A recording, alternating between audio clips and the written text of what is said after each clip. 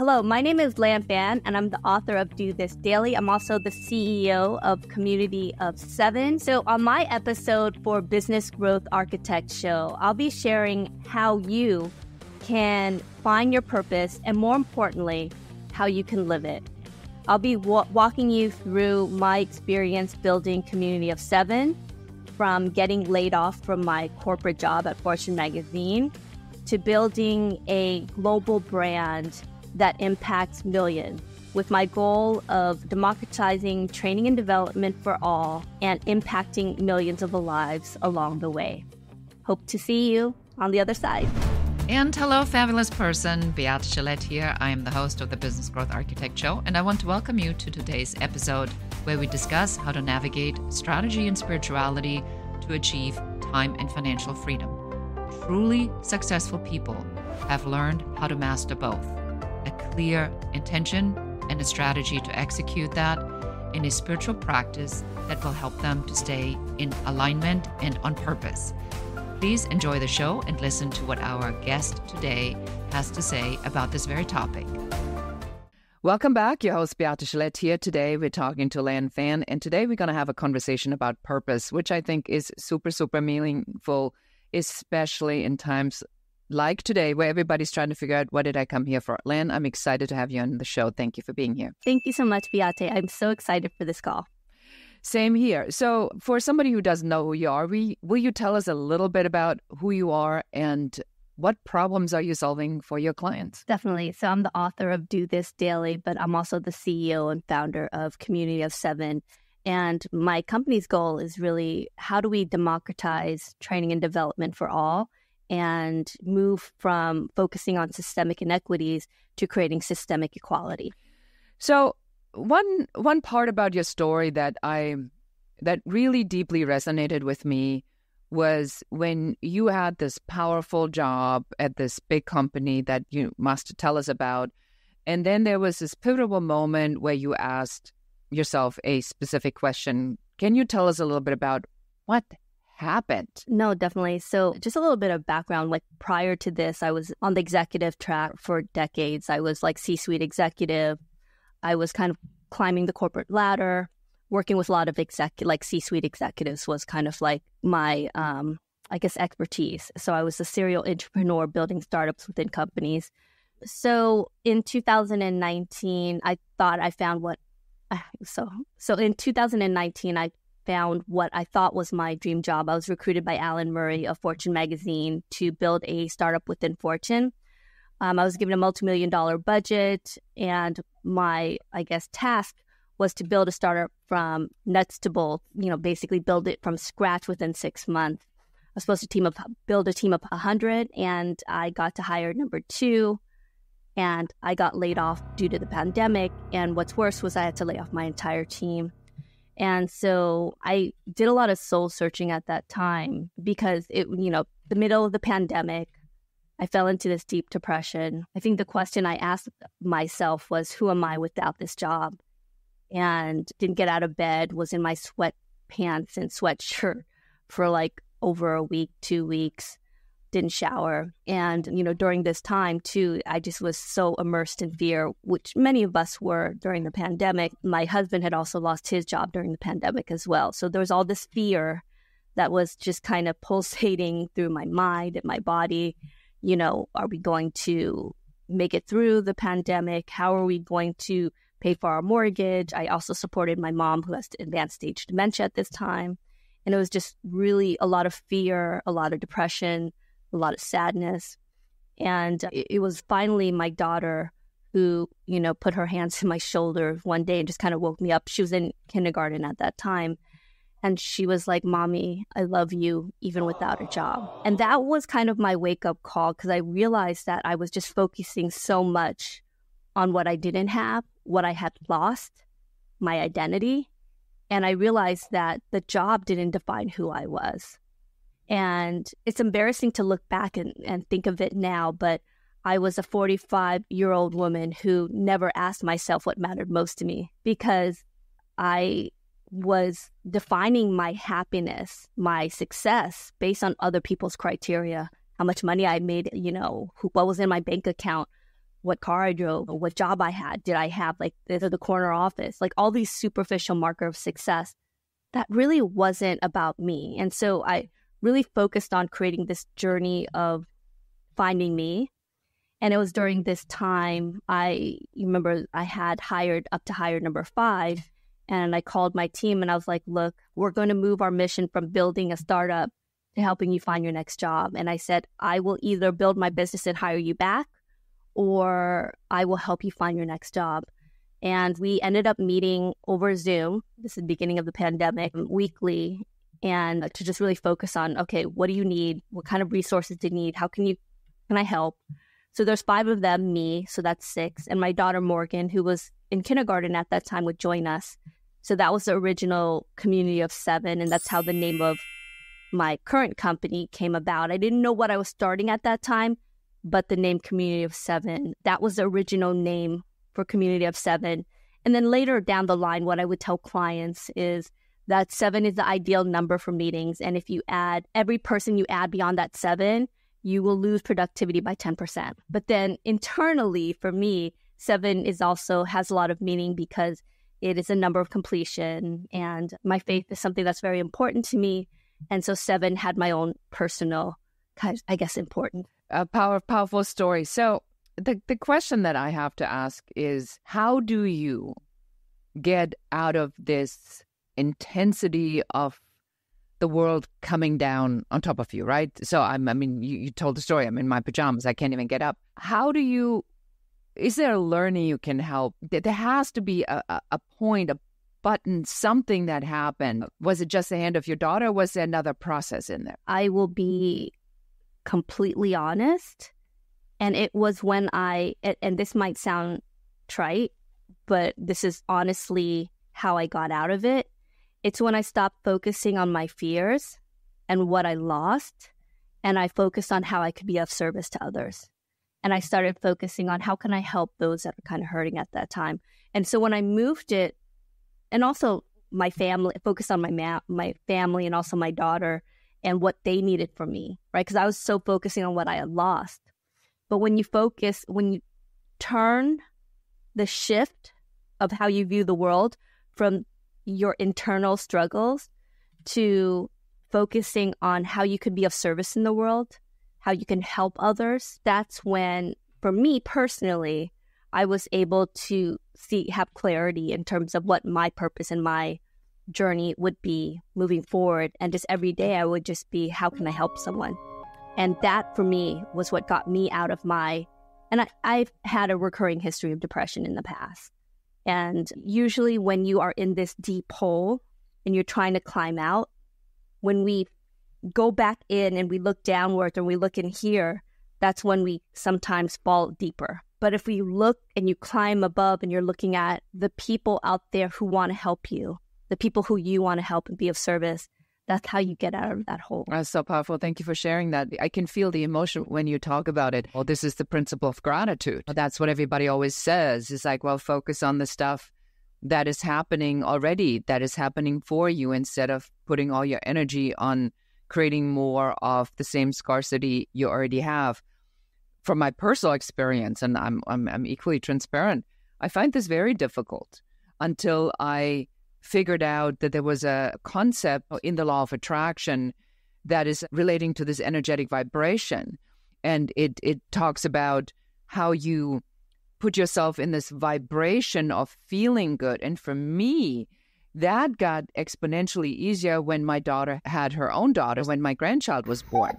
so when when I have these moments of despair or there's a cash flow crunch or something's happening all I have to do is think about being with her or my playtime with her, and I'm immediately in this in this moment of gratitude. How would you tell others? You know, maybe is an example you can share on how you shift into that when because these moments never go away. These moments always come in life. I mean, that is life after all. But what do you do? Is that a spiritual practice on how you catch yourself and shift it? Yeah, I often think of the adage, you know, life doesn't get easier but we get stronger. Mm-hmm. And I think it's that constant reminder. And one of the things I always say to my friends and just people in general is that negative emotions aren't something you should be afraid of, They're there to kind of, my friend has a good way to put it, they're kind of guideposts guiding you, right? So whenever you feel fear or anger, there's a reason that it's trying to, your body is trying to tell you something, right? However, negative emotions are like a tunnel. You're meant to go through them, but you're never meant to live in them. You're always meant to move towards the light. For me, light is other people, light is my faith, my belief and trust in God. It is just my belief that it is our duty in this world to make this world a, a, better place for our children. And so when you focus on the light, it's much hard to stay in the darkness. And I think that is some days are easier said than mm-hmm. others. And it's you have to give yourself grace when there's days when you don't want to get out of bed. But then, you know, for me, it wasn't a huge shift. It was my daughter telling me how much she loved me that got me out of my stupor. But it was me getting out of bed, washing my face, combing my hair, doing my laundry, cleaning my house, making my bed. And I did what I could that day. And then I kept on moving. From there, I woke up one day and say, this name Community of Seven came in my head. And that night I was watching TV and I was with my husband and I just built a website, Community of Seven. And I was like, I don't know what I'm creating right now, but I'm moving towards progress.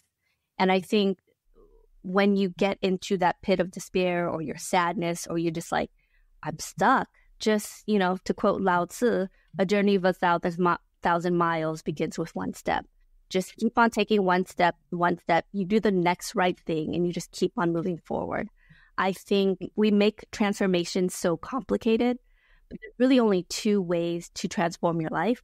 Only two ways. It's really it's easy, but it's not simple. It's what you add in your life and it's what you take away. What you add and what you take away. So if you are in a situation where you feel like overwhelmed, or you don't feel like you have a support in your community, maybe it's taking away negative people and adding friendships and connections that nurture you. If it's unhealthy eating, taking away maybe alcohol or cigarettes or you know the foods that are greasy and then adding in vegetables or fruits, water. And we make those small decisions and that's why I have my book and why it's called Do This Daily. Transformation, people want it to happen overnight, but usually change happens by these small decisions we make each day. And we have to really understand who is the person we want to be and what are the actions I need to do daily to get there. Because if I want to be an athlete, then it's going to impact the friends and my connection that I make, right? It's going to impact what I eat, how I sleep, how I treat my body, what I read, what I do. And so it's a small decision each day. Okay, instead of just sitting on my couch all day, I'm to go take a bike ride. And it's as simple as that, but it's not necessarily easy because what we want is safety. So we are ingrained with our, our unconscious bias rules, our decision making, and how we act and behave. And our body is programmed with a negativity bias because our body wants to keep us safe, right? So when our ancestors were being chased by saber-toothed tigers, or we needed to decide whether this berry was poisonous or not, we erred on the side of fear because fear kept us safe. That might work if you're being chased by saber-tooth tigers. But now that we're in front of a desk, we're entrepreneurs, we're building businesses, we need to take more risks. So if you kind of look at the growth zone, right? There's a comfort zone, and then there's the learning zone, and then you have the growth zone. And like in between those are, is also the fear zone. So once you move into the learning zone and the growth zone, you're going to go past the fear zone, right? And so the only way we get past that is by doing, is by action. It's by doing the things we need to do daily and, you know, not focusing on the status quo or the fear or staying complacent, but just kind of moving in the direction of where we want to be in our lives. This is so unbelievably powerful. I, th- I, think we've covered so many of these spiritual concepts of really being in charge of your own agency and making decisions consciously and then following through with these decisions. And I think sometimes people get really stuck in thinking that there is one main move, but there is not one main move. There is thousands of small steps, right? Yeah. Um, I want to shift gears now a little bit over to sort of this strategic part of it because you obviously run a business and you are a for profit business. And so, talk to us about the community of seven and how does Do This Daily, how does this sort of all fit in? Because I think people sometimes have a hard time figuring out does spirituality and strategy even connect? And this has been the purpose, my vision for this show is to say they're intricately connected. You need one to kind of do the other. Would you mind sharing a little bit about your path and how you combined the two of them? Definitely. Before I do, though, let me. In- I'm sure your listeners understand and have heard about ikigai, which is a Japanese concept of how your reason for being. How do you find your reason for being? And there's, you know, if you've seen the graphic, it's basically ikigai is in the middle, your reason for being, and the there's four concentric circles that overlap and it is what you love, what you're good at. But here's an important part, right? It's also about what the world needs and what you can get paid for. So your goal is to find that where every four, those four points meet in the middle. And I think the problem with some people who are unhappy, me including, included, was in the beginning I focused just on the last two quadrants of what how can I can, you know, does a word need world need it and can, can I get paid for it? Probably more leaning towards the can I get paid for it. That was my career trajectory for two decades, right? And then I realized that even though I had the pay, I had the title, the status, I was miserable inside. I wasn't taking care of my health. I said my family was my number one priority, but I would only see my daughters on the weekend because I was working from six o'clock at night to 10 o'clock at night, and I was traveling 85% of the time. I was diagnosed with pre diabetes, right? So I was slowly killing myself, mm-hmm. right? Not sleeping, sleeping maybe four or five hours a night. Oh, crazy. And so there was a disconnect, right? And so, but the problem too is that some people just focus on what they love or they're passionate about. If I was passionate about singing and I wanted to make that my pursuit, I would not be able to make a living because my singing is just not right? There's the reality of also, you also need to be compensated for what you do because you have a mortgage to pay. If the people, if, you know, your family is important to, to you, you need to pay for school, you need to pay for supplies, all these other things. So I, what I love about the whole ikigai concept is you have to understand it's about what you love, what you're good at, um, what the world will pay for you, pay for, and what the world needs. And so for me, when I was first starting off, I it, and you're talking to someone who has been asking, "What am I passionate about?" for all my life, and I always say that I'm a late bloomer because when I, you know, I'm going to turn 50 this year, and I always tell people, you know, I I'm going to turn 50 and I just figured out what I want to do when I grow up. And what I want to reiterate to people is it's not too late to figure it out, but you have to ask those questions. I wish I had asked these questions earlier, but I don't know if I would have been in the right place or I needed to make those stumbles and missteps in order to get me to where I am today. So, Community of Seven, when it first started, I focused really on creating mastermind groups with CEOs and executives, very powerful people, and they paid thousands of dollars to join these masterminds. And it was successful, and I recruited a lot of people. But there was a tail end where I just started feeling trapped. And I just was like, I realized that it wasn't my passion to make really successful people more successful in the pursuit of making money and building a business. So I pivoted. I think after year two, year and a half, you know, one and a half, I started doing training and development for corporations. And I've had contracts now for the past four years for a lot of companies, working with big Fortune 100 companies, but also small startups as well. And my key is doing mass training for 100, 200, 300 people on a call. I've done as high as like, I think, a thousand. And what's powerful about it is that usually the group training model, you have six or seven in a room and um, you go through this training for six hours and then nothing really sticks. And what I realized going through corporate America is that if you want to really change the culture of a company, you need to change the vocabulary and you need to get everyone swimming in the same direction. So, you know, I might have a startup that has 400 people in their company. I will say, okay, I need to do a training with the CEO, but also the office managers and the EAs and everybody on that call. And so that has been my focus probably for the past few years is really focusing on democratizing training and development for all. Because I know for me, it wasn't until I was age 40 that I got leadership development training, executive training, which is a shame because I think about the hundreds of people I've managed, but I wasn't deemed good enough to get training and development because it's so expensive until I was in my my early 40s, right? So my goal is how do you create systemic equality through training and development?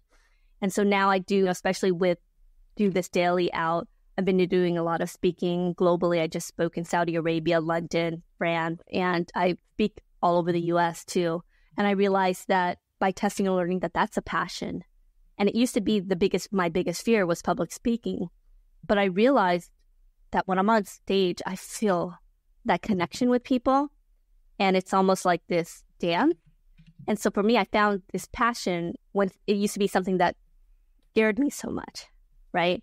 So now my most of my business is centered around training and development, creating content, and also under keynote speaking, just all globally. That's wonderful. So you've really had this spiritual awakening after a complete dismantling or the breakdown.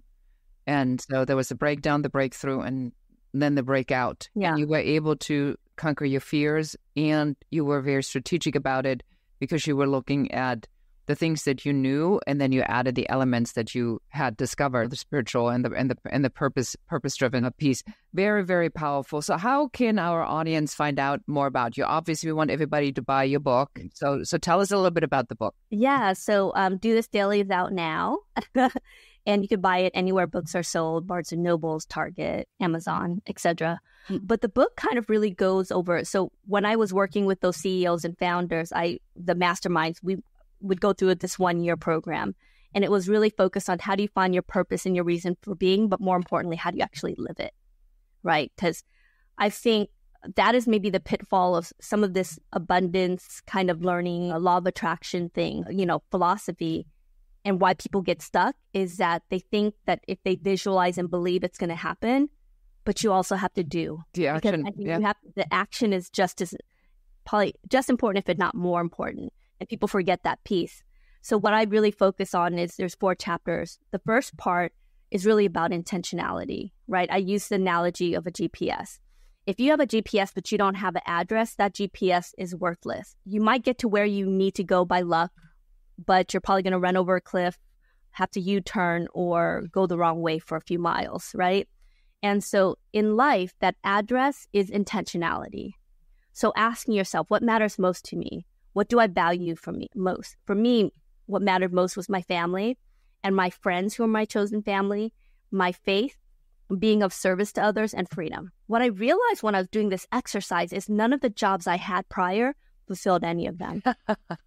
like to build a life. And the big difference was before I would find a job that paid well, that had the status, and then I would try to build what I loved and my life around it. And what inevitably happened is that job would push everything out. So what I've done differently now is I've built the life I want to live and what values most to me.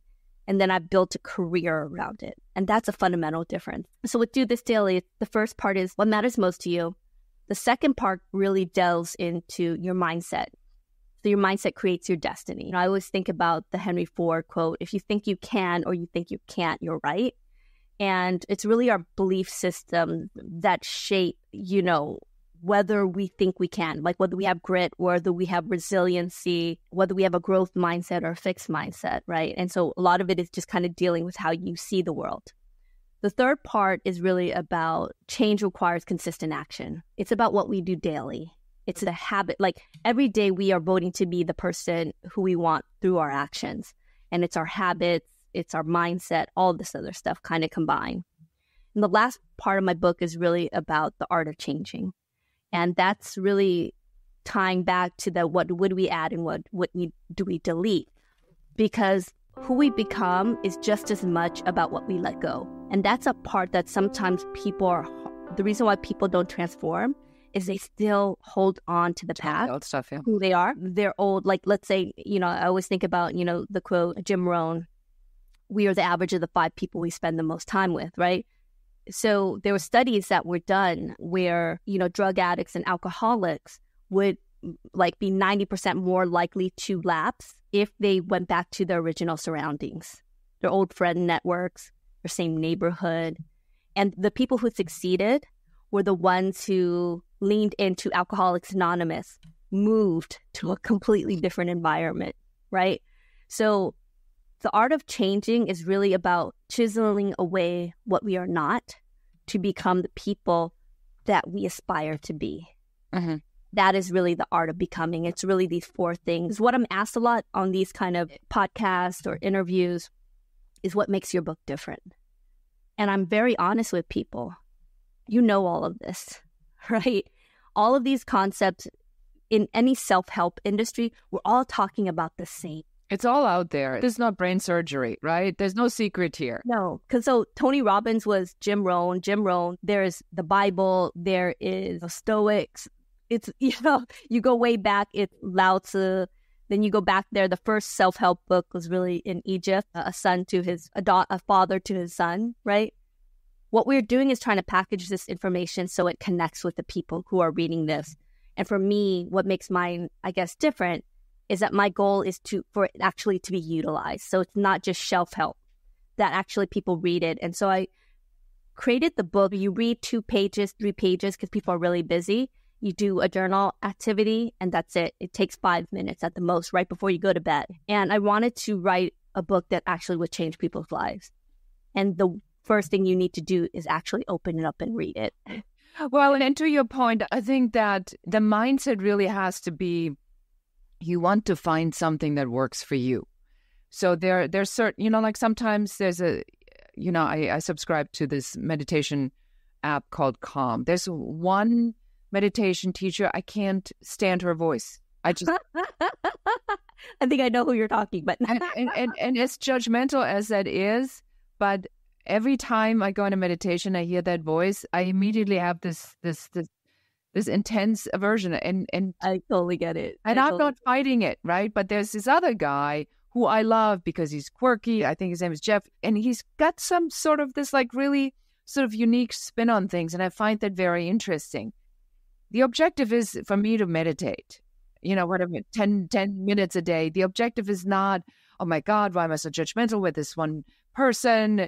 Who cares? So it doesn't matter what book you read. It doesn't matter if this is if these five minutes and the two pages and the little journaling at the end of the day is doable for you, then figure out if it is and then just go ahead and, and, and do it. And if it's something else, do something else. And I think that's where a lot of us who are in this in this field are all the same. It's like we just giving you reiterations Exactly. based on the experience that we had when we had to put some a little bit of a spin on something to say, well, when we did that little thing that worked for us, and that's know what? hope. You know what it is? They're universal truth, Yes. right? And so the thing with universal truth is you don't innovate them. You just You basically channel them. Yes. channel them. And and Mhm. I think also I'm a firm believer that we're all teachers and learners, right? Students. And so to be good at teacher, you need to be a good learner, a good student. To be a good student, it's helpful if you teach. And so I think when I see myself, I'm not a guru, I'm not someone to be followed. I'm a teacher, right? And so I've learned from other people. I've learned from a lot of mistakes, right? And my goal is for someone to not wait till they're turning 50 to figure out what they want to do. Have it a lot earlier because then you can have more time doing the things you love, right? And the thing, the thing that you that you think you're doing now may not be the thing that you do when you're 60, and you may have the no. same thing all over again. And I know people that are still starting businesses at 68, 70 because they're just it, it's just not a a reality that's appropriate for them. They don't buy into this uh, selling everything, buying an RV, and driving through through America or something like that. Go ahead, please. what I've been doing is dividing my life into four quarters, right? So the average person lives 77 years, so that breaks down to 19.25 per year. Your first quarter is really learning how to walk, learning how to talk, learning how to be human, right? Like you're in school, right? The second quarter is about hustle mode, making money, um, really kind of climbing the corporate ladder. The third quarter is about really finding your meaning and your reason for being. And the last quarter is really about what is my legacy. And the reason why it's important, and, and here's the thing it's not necessarily by age, because some people are much more wiser in their 20s than I was, right? But you have to kind of see things in stages. When I was in my 20s, the only thing I wanted to do was make money. Uh-huh. And the reason why was I didn't want to be broke, right? And you wanted to be independent, and you wanted, wanted- to exactly. prove everybody that you had it uh, had it figured out. But then if you look at Maslow's kind of pyramid, the bottom is security. Like you can't get into enlightenment and self realization if you don't have a home, if you don't have financial security. And so where you are in your second quarter is going to have a very different mindset. I think now being in the third quarter of, and I think a lot of the people I talk to, especially on LinkedIn, because I post daily, that message resonates with them because they're in that period of their life where they're trying to figure out, okay, I've, I've done the corporate ladder. Now, what, Yeah. what's my meaning? Wonderful. Right. And most of us don't ask that question. And we look back and we wonder, you know, where did my life go? Well, we're asking our question. We're asking this question right now, and this has been a really powerful interview. Thank you so much, Lan, for sharing these very vulnerable and honest moments of how you how you got to be who you are today. So, for everybody, please uh, check out uh, the website. Everything is going to be in the show notes, and uh, go get the book. Check her out, Lan. Thank you so much for being here today. Thank you, Beate. This was a wonderful conversation. Thank you. Thank you.